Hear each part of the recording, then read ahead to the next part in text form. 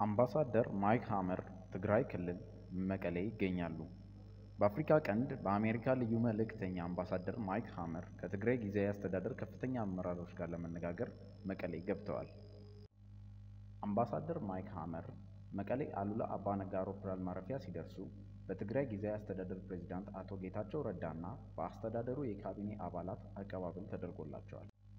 በትግራይ ቆይታቸውም በፕሪቶሪያ ስምምነት አፈጻጸም፣ በሽግግር ፍትህና ተጠያቂነት እንዲሁም ሌሎች ወቅታዊ ጉዳዮች ላይ ይመክራሉ ተብሎ ይጠበቃል።